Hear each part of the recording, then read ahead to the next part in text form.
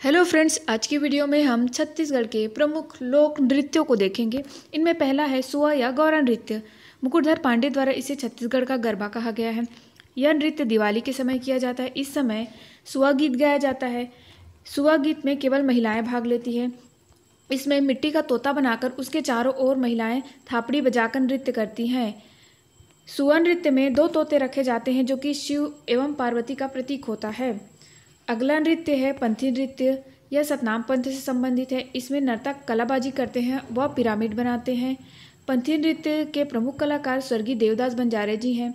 इस नृत्य में प्रयुक्त होने वाले प्रमुख वाद्य यंत्र मांदर व झांझ है। अगला लोक नृत्य है राउत नाचा।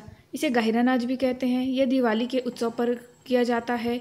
यह कार्तिक प्रबोधिनी एकादशी से प्रारंभ होकर लगभग एक महीने तक चलता है। राउत नाचा भगवान कृष्ण की पूजा का प्रतीक होता है। इसमें गड़वा बाजा नामक वाद्य यंत्र बजाया जाता है। राउत नाचा राउत जाति के लोगों द्वारा किया जाता है, जिसमें केवल पुरुष ही भाग लेते हैं। इसमें पुरुष एक विशिष्ट वेशभूषा धारण करते हैं और आवश्यकता पड़ने पर महिलाओं की भी वेशभूषा धारण करते हैं। इसमें पुरुषों के हाथ में सजी हुई लाठी होती है। इसे लेकर वे टोली में गाते एवं नृत्य करते हैं। राउत नाचा शौर्य कला का प्रदर्शन होता है। राउत नाचा महोत्सव के बारे में देखें तो यह उन्नीस सौ अठहत्तर में प्रारंभ हुआ था और वर्तमान 2023 का राउत नाचा छियालीसवां राउत नाचा महोत्सव है।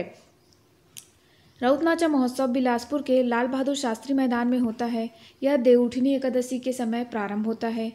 राउत नाचा में प्रमुख रस्म मातर त्यौहार होता है एवं सुहाई बांधना। सुहाई पलास एवं मोर के पंख की रस्सी से बनी हुई होती है, जिसे जानवरों के गले में बांधा जाता है।